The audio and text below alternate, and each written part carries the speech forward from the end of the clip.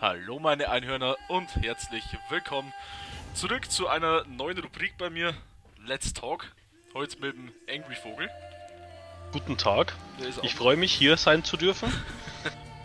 immer wieder gern. Ähm, ich habe mir jetzt gedacht, wir machen einfach mal eine neue Rubrik. Hier, Bloons Tower Defense 5 bietet sich ja dazu an. Einfach mal ein bisschen irgendwie nebenbei so ein kleines Tower Defense, was weiß ich, und einfach ein paar Leute einladen und mit denen über irgendwelche alltäglichen Dinge quatschen. Genau, das ist quasi der, die, das Idee dahinter. Haben wir ein bestimmtes Thema? Äh, ich habe mir eigentlich jetzt gar noch keins überlegt. Ich habe halt, wo ich äh, in Arbeit gefahren bin, ganz ehrlich, habe ich mich mal wieder über was aufgeregt und zwar das Wetter in Deutschland.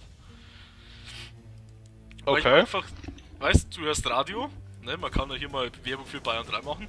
Ähm, ich höre quasi Radio, wenn ich ne, fahre in die Arbeit und denk mir so, ja, kommt wieder Weihnachtsmusik. Und du denkst da, ja, am Sonntag hat es doch so extrem geschneit bei uns, ne? Mhm. Jetzt, pa- wa- warte mal, bevor wir hier jetzt, müssen wir erstmal schnell starten. Ähm, jetzt muss ich erstmal die Box aufmachen. Geil, ich habe drei Bananen im Bauer bekommen, ja. Oh, wow. So, jetzt pass auf, jetzt gehen wir hier auf Koop. Und dann gehen wir einfach auf privates Spiel erstellen. Genau. Du gehst dann quasi auf, äh, nee, ich lade dich einfach ein. So machen wir das. Äh, Ja. Ich würde mal sagen, wir zocken das, das schaut ziemlich cool aus. So, spielen. Freunde einladen. Und dann laden wir doch hier den Angry Birdie ein. Moment. Na jedenfalls, ähm, Mitspielen. weißt du, fährst in der Arbeit auf der Autobahn Ja. und denkst dir, ja, Weihnachtslieder, ne? Ich meine, es ist heute der 14. Das Video kommt am 15. raus. Am Sonntag hat es ja ewig lang, also ewig heftig geschneit bei uns. Was ja so für Dezember jetzt nicht unbedingt schlecht ist, aber Wie kommt, warte mal ganz kurz, wie kommen die Ballons? Äh, die kommen bei mir. Die kommen äh, oben. Gehen dann über diese Efeu-Ranke und dann unten wieder raus. Also die gehen einmal komplett durch, durch dieses blub. Ah ja, okay, schauen wir mal. Ähm, und jedenfalls denke ich mal so, Weihnachtslieder, es ist ja in Ordnung, ich bin kein Fan davon. Ähm, aber du schaust raus, am Sonntag hat es geschneit wie die Sau und was ist dann bei uns wieder? Nee, die Tage darauf muss ja regnen. Warum kann es nicht einfach eiskalt sein, damit der Schnee liegen bleibt? Ich meine, auf der Straße brauche ich den Schnee, weil da finde ich ihn scheiße zum Autofahren, muss ich ganz ehrlich sagen. Das ist Das einfach, ist auch, ja. das ist kacke. Aber warum kannst du nicht einfach so kalt bleiben, dass der in der Landschaft liegen bleibt, dieser scheiß Schnee? Hm, Du musst auch bedenken, aber viele Leute mögen keinen Schnee. Ja, aber also vor allem, wenn dann Ja, wieder Blitzeis ist oder so, ist nicht meistens nicht so cool. nee, das, das meine ich ja. Und dann, was ist bei uns wieder? Es regnet dann und ist warm. Oder eiskalt und regnet. Dann ist wieder Eis und aber der Schnee ist ja trotzdem weg, weil es regnet. Ja, Ich, das, Ja. regt, das regt mich einfach total auf, weil du schaust dann raus, es läuft Weihnachtsmusik im Radio und du denkst so, ja geil, in 10 Tagen ist Weihnachten, du schaust raus, alles ist grau, braun, matschig und tot. Und du denkst so, boah geil, Weihnachten, ja, alles ist braun, matschig und tot draußen, ja. ja, ich Wow. glaube, zu Weihnachten werden, wird wahrscheinlich eh kein Schnee mehr liegen. Also, Ganz glaub ehrlich, ich- wann haben wir das letzte Mal weiße Weihnachten gehabt? ja. ja, ich, ich könnte mich nicht mehr dran erinnern, muss ich ganz ehrlich sagen. Ist wahrscheinlich auch schon wirklich schon ein bisschen her. Aber also ich, mir ist letztens bloß eben wieder aufgefallen, ähm, als es wirklich angefangen hat zu schneien und ich musste dann Auto fahren. Okay. War nicht cool. Ich bin, also ich war auf dem Weg in die Stadt Ja, und ähm, auf dem Weg in die Stadt waren schon drei Unfälle. okay. Und ich selber bin halt einmal dann an der Ampel gestanden und wollte losfahren und mein, mein Auto hat es dann nicht mehr dabackt. Wollte um die Ecke fahren Ja. und ähm, ist Heck ausgebrochen, alles. Also ich konnte es nicht mal mehr richtig steuern. Okay. Das ist dann auch nicht so cool. Nee.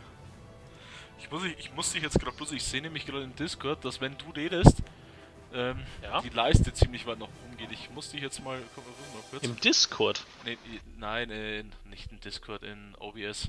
Entschuldigung. bin ich zu laut. Äh, nee, pass auf, ich schraube jetzt einfach äh, Teamspeak schnell runter und dann passt es wieder. Wir spielen ja auf Mittel, ach schön. Ja, dass man ein bisschen Punkte gibt, oder? Hätte jetzt ich gemeint. Ja, ist okay. So, jetzt glaube ich, ist das auch angenehmer. Tut mir leid für alle Zuschauer, passt die ähm, Habe ich dich auf 60. ich aufgeweckt habe. Mit meiner lauten Stimme. Seid ihr noch wach? Ja! nee, aber das ist halt. Ich, ich weiß nicht. Und dann, wo ich heute. Ich bin ja die Woche in Ingolstadt gewesen, ne?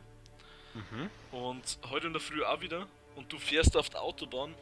Und es gibt einfach den Schneeregen und Sturmböen auf Doom.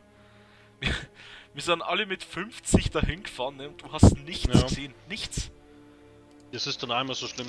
Weißt du, hast äh, den, den Firmenwagen, also den Transit, und du fährst und du stellst diesen Scheibenwischer auf, die, auf der höchsten Stufe, ne?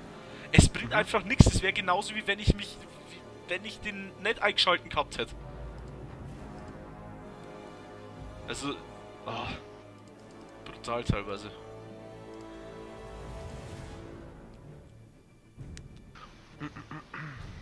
Ja, aber, naja, gut. Gehört halt dazu im Winter, ne? Ja. Aber jetzt haben wir das wieder das Problem, dass ähm, es jetzt wieder zu warm wird. Richtig. Ich habe bloß im Radio gehört, dass eben wirklich jetzt wieder Plusgrade geben soll. Es hat doch jetzt, warte mal, wann? Am Dienstag, glaube ich, hat es sogar 13 Grad gegeben. Hm, ja, kann sein. Ja. Also, es Ja, ist krass. Also an einen Tag davor Schnee ohne, ähm, Schnee ohne Ende. Und jetzt wieder 13 Grad, also. Ja, also das ist teilweise ist schon extrem, wenn man so überlegt. Ja.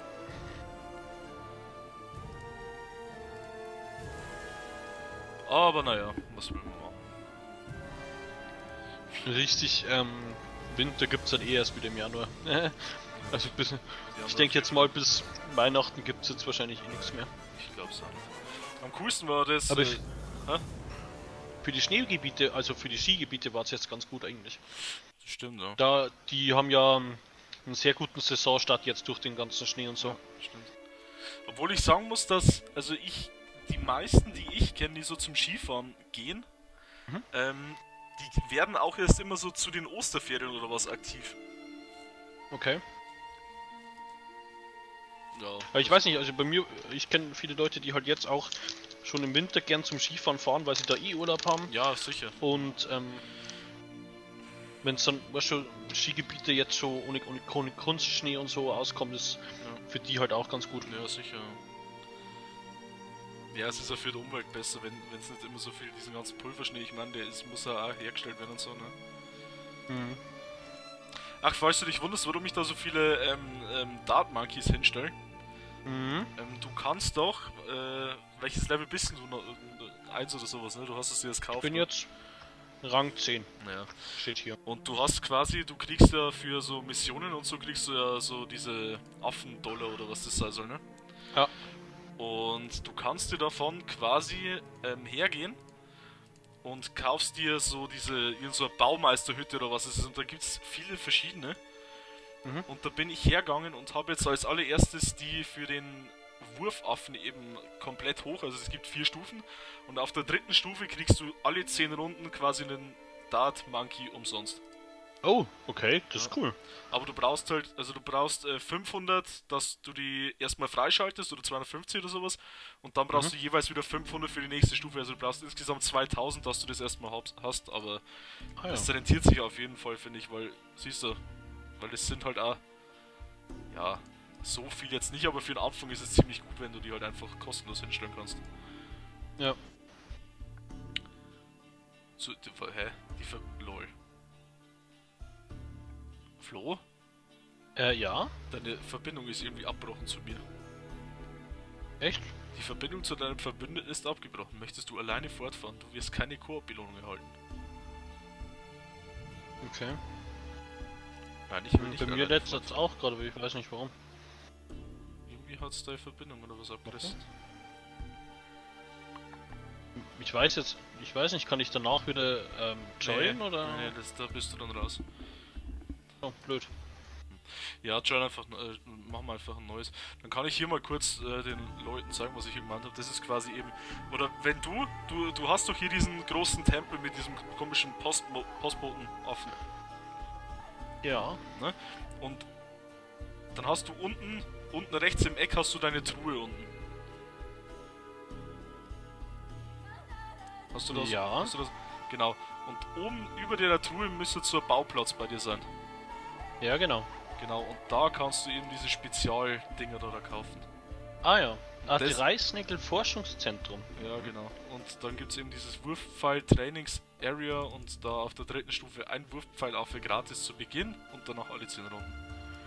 Und auf der Stufe 4 sind halt die ähm, Pfeile auch ex explosiv, heißt die machen eingefrorene und diese, ähm, diese Bleibloons auch kaputt. Ah ja. Sind Interessant. halt dann wesentlich stärker. Ich finde auch, ich finde auch das ganz hinten ist es.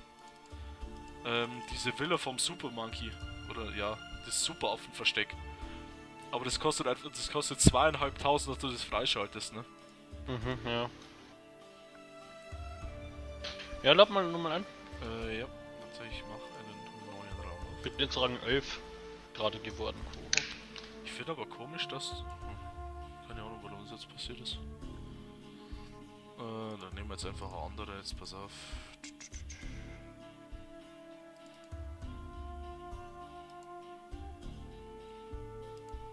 Nehmen wir den. Zack. Spielen. Freunde einladen. Okay. Mhm. Ja gut, jetzt sind wir bei 12 Minuten, also da ein Level, das sollten wir jetzt schon hinkriegen. Okay. sagen. Naja, Der verschneite Garten. Ach schön. nach dass wir wenigstens hier ein bisschen Schnee haben.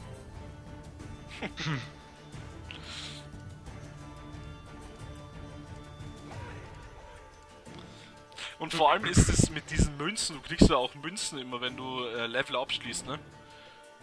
Ähm, okay, wusste ich nicht. Naja, kriegst du Goldmünzen und für die Goldmünzen kannst du dann auch immer wieder Verbesserungen kaufen. Ich habe zum Beispiel halt, also wir starten anstatt mit 150 Leben mit 170, wie du oben siehst. Mhm. Weil da habe ich zum Beispiel so ein Startleben mehr und ich habe ein bisschen mehr Startgold und lauter so Zeug. Bessere Angriffsgeschwindigkeit und das kannst du alles mit diesen Goldmünzen dann eben nach und nach kaufen. Du kannst dir aber auch für diese äh, Monkey Dollar kannst du dir auch so ein äh, Münzenpaket kaufen. Ja, aber das ist ja dann mit, ähm, Nee, Echtwährung, nee, oder? nee, nee, diese Monkey Dollar, das ist, wenn du Quests abschließt. Du Ah ja. hast, Du hast ja immer drei so Daily Quests und da kannst du halt auch äh, Geld dafür kriegen. Mhm. Und du kriegst ja eben, wenn du ein Level abschließt, jetzt auf Mittel 250, also hier zum Beispiel jetzt 250 Monkey Dollar. Also, so- also ich wüsste jetzt nämlich auch nicht, dass du hier bei Blue Star Defense ähm, Geld aufladen könntest. Hm, weiß nicht. Ich Das, spiel's das grad wär, ganz ehrlich, das wäre echt ganz schön schwachsinnig, Ja. muss ich sagen.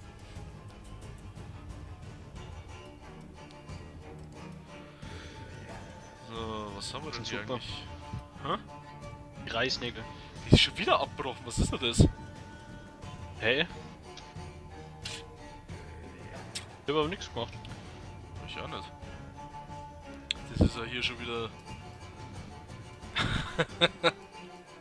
Grandios!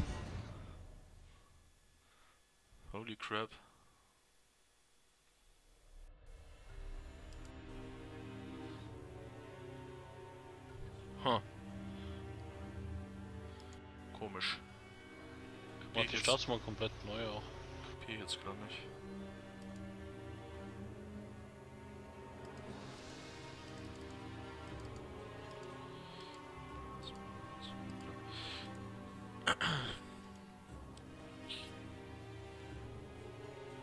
Okay. Weil du hast ja quasi. Ähm, ja, jetzt warten. Wir, wir machen jetzt einfach. Ich, ich zeig dir das jetzt ein bisschen hier so. Und ich würde sagen, wir machen danach einfach eine Runde. Machen wir jetzt hier einfach so ein Einführung-Ding. Ähm, mhm. Du kannst zum Beispiel, wenn du jetzt auf dieses äh, Forschungslabor drauf gehst, mhm. dann siehst ah, ja. Mhm. dann siehst du eben oben rechts dann deine Goldmünzen. Ja. Und in der Mitte siehst du halt dann eben diese Dinger, was du dir da alles so kaufen kannst. Also zum Beispiel größere Blumensabotage, dass dann die ähm, Zeppeline schon ein bisschen kaputt ankommen und lauter so Zeug. Mhm. Ja, aber die, da habe ich noch keine Münzen jetzt dafür. Nee, und du hast zu, äh, oben links im Eck hast du dann eben diesen ja, Einkaufsladen. Und da kannst du dann. Also du kannst was mit Geld kaufen, aber bloß Skins. Ah ja. Kannst du hier zum Beispiel so einen Dart Monkey mit einer Ritterrüstung kaufen für 1,99. mhm. Beim Springbrunnen, was geht da? Ach, da kann man seine ähm, Türme angucken. Genau, da siehst du, was wie weit Verbesserungen deine, schaut. Genau, da siehst du, wie weit deine ganzen Türme schon fortgeschritten sind. Also ich habe mhm, mhm, ziemlich alle auf der höchsten Stufe, bloß mal jetzt gerade gesehen, ich habe zum Beispiel diesen ähm, diesen Affenpionier, den habe ich auf Stufe 1 auf allen beiden, also links und rechts. Das Affenboot habe ich bloß links auf der ersten Stufe, weil ich das einfach nie hernehme, die zwei Dinge. Mhm. Aber das hast du auch noch alles gar nicht, ne? Nee, nee. Es gibt zum Beispiel was, ähm, was es beim äh, auf Ninja Kiwi nicht geben hat, ist dieser Hubschrauberpilot. Okay. Das setzt du quasi ähm, auf die auf das Spielfeld, setzt du so ein ja so so ein Viereck, das ist halt eine Landestation für den Helikopter. Und wenn du den dann hochgelevelt hast, also am Anfang folgt der deiner Maus und den kannst du dann quasi einstellen, dass der, das musst du aber erst hochleveln dafür und dann verfolgt er quasi immer den vordersten Blun und feuert dann in so einem Strahl, also mit dem Maschinengewehr auf die ganzen Bluns. Mhm. also eigentlich cool. ziemlich gut. Ja, der ist ziemlich cool, ja. Aber kostet ziemlich viel. Also der glaube ich, der kostet zum Bauen 800 und dem seine ähm, ganzen Upgrades sind auch ziemlich teuer. Mhm. Genau, äh, unten links dieser Pavillon mit diesem Affen mit Sonnenbrille. Ja, genau. Da das hast du dann quasi die ganzen, Agents, genau, dann sind dann die ganzen Special Agents wieder drin. Und die kannst du halt eben auch äh, bei den Daily Quests bekommen. Und mhm. je nachdem, wie oft du die halt einsetzt, hier zum Beispiel bei dieser Stammesschildkröte, wenn du die 50 mal halt eingesetzt hast, ähm, wird die dauerhaft stärker. Ah ja. Dann ist die halt auf Profi und hier halt überall, da siehst du immer unten die Leiste, was da drin steht. Wenn die voll ist, sind die quasi stärker. Weil ich sage mal so, wenn du ja die hinsetzt, bring bis Runde 10 was, danach sind die eigentlich sowas von useless. Gibt's den, den Bären mit der. Ah ja, ja genau, hier der Bienenzüchter. Ja. Da habe ich auch einen. Bester. Da habe ich einen. Da hat es letztens eine Quest dafür gegeben, aber da habe ich leider geschlafen. Ich muss mal gucken, was ich zurzeit. Ähm, jetzt pass mal auf. Ich habe Last 10.000 Bloons mit Erdmännchen Top-Spion platzen. Erwirb oder verbessere ein neues Spezialgebäude. Ja gut, das könnte ich machen, dann kriege ich wieder einen Super Monkey. Mhm. Und äh, epischer Blumenplatzer, lass 250.000 Bloons platzen. Da kriegst du zum Beispiel 200 zum Monkey Dollar. Genau. Ja, und lauter so Sachen. Ich könnte mir ja eigentlich mal schnell kaufe ich mir doch einfach schnell diesen Reisnagel-Ding da. Zack. Da müsste ich doch die Quest jetzt abgeschlossen haben. Genau, dankeschön. Weil ich meine, ansonsten, du machst ja nichts großartig mit diesen... Oben, ganz oben in der Mitte siehst du quasi, was du schon für Errungenschaften hast. Ja. Da kann man zum Beispiel auch... Ja, da habe ich noch gar nichts, also... Kannst du unten auf Bestenliste dann Freunde. Ja, der Chris ist ziemlich nah an mir dran, aber immer noch wesentlich schneller. Also, was heißt wesentlich? 700.000 Punkte unter mir. Ja, gut, ah, ja. du, du, bist natürlich bei 8.000. Gut, du hast erst angefangen, aber. ja. Hm, zu dritt geht's ja auch nicht, oder? Nee, leider nicht. Ich find's aber auch ziemlich cool. Ähm, hier gibt's mega viele ähm, Optionen, also äh, Modis. Mhm. Es gibt halt dieses Odyssey, das ist halt so eine Reise, da hast du ähm, vorgegebene Maps und du hast bloß drei verschiedene Türme zur Auswahl, mit denen du äh, kämpfen darfst. Das ist ziemlich cool und du kriegst danach kriegst du ziemlich viele Goldmünzen und Monkey Dollar, wenn du das schaffst. Dann gibt es halt diese Tagesherausforderungen, Spezialaufträge. Und was ich wirklich ziemlich lustig finde, wenn du auf normales Spiel gehst, aber das kannst du noch äh, lange nicht. Hier eben dann das Platzkonzert ist ähm, neben schwer. Da hast du nur ein einziges Leben und musst auch 85 Runden überleben. Oh. Kriegst aber Okay. ewig, da kriegst du aber ewig viele Monkey Dollar dafür, wenn du das schaffst. Mhm. Dann gibt's halt die, Ab äh, die Platz-Apokalypse. Ja. Äh, was war bei der? Da glaube ich, hast du bloß so und so viel Dollar und musst halt dann einfach schauen, wie lange du überlebst. Und beim Luftablassen glaube ich auch. Also da gibt's halt so verschiedene. Starte mit 15, also Luftablassen, starte mit 50.000 Dollar. Während des Spiels kannst du kein Geld dazu verdienen. Du startest in Runde 30 und Bananenplantagen und andere Fähigkeiten, mit denen sich Geld verdienen lässt, sind deaktiviert. Wie weißt du, wirst du es schaffen? Das zum Mhm. Beispiel. Und dann die Platzapokalypse. Äh, wenn du einmal begonnen hast, kannst du nicht mehr stoppen. Bloons werden kommen. Ach genau, das ist einfach ähm, endlos. Also da starten die äh, Rauschen einfach durch. Ach so, ohne Runden-Ding dazwischen, Ja, sondern einfach wirklich genau. die ganze Zeit. Genau, genau. Ah ja, ist aber auch cool eigentlich. Ja, aber da glaube du ich, musst musst die du, ganze Zeit drinnen sein. aber da glaube ich, musst du Le Le- Level 45 werden oder was dafür. Oh, das dauert noch ein bisschen. Ja, ich bin jetzt 48, mhm. aber das hat schon auch ziemlich lang gedauert. Okay. Und ja, also ich finde 10 Euro für- sind für das Spiel finde ich in Ordnung. Das ist okay, ja. Also das kann man sich auf jeden Fall besser eingehen lassen als so manch anderes Spiel, das wesentlich mehr kostet. Background. Hust. Ja, da ich habe mit, mit einem Arbeitskollegen von mir letztens geredet, der hat gesagt, es ist an sich cool, aber Lootboxen. nee, also ja. Ja. aber das Thema, das ist mittlerweile auch schon so durchkaut und Ja. ich kenne mich da jetzt auch sonderlich nicht aus, weil ich das eben auch nicht spiele und aber naja. Und ich würde sagen, damit belassen wir es bei der ersten Folge. Ich bedanke mich fürs Zuschauen, danke fürs dabei sein. Kein Problem, immer wieder Hoffe, gerne. hoffe bald wieder. Dann würde ich sagen, sehen wir uns, haut rein, schönen Abend, ciao.